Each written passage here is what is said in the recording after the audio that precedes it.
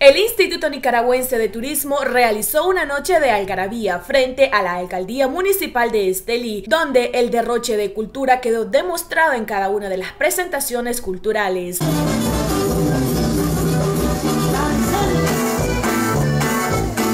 Las familias que asistieron a esta actividad disfrutaron del derroche de cultura que presentaron los artistas de Masaya y de Estelí.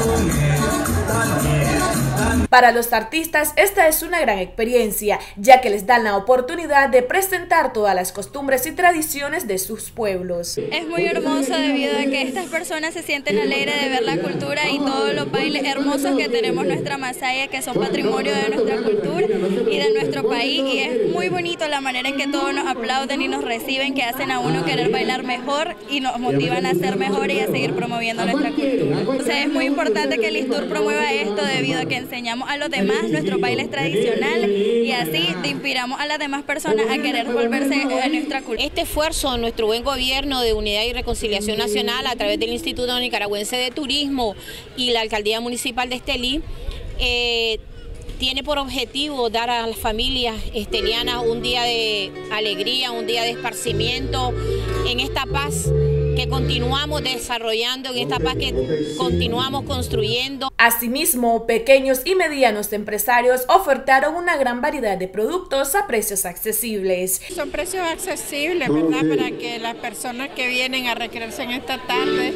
eh, se lleven un bonito recuerdo. El buen gobierno a través del Instituto Nicaragüense de Turismo impulsa estas actividades culturales con el fin de crear espacios de recreación sanos y que las familias disfruten de la alegría de vivir en paz y en tranquilidad.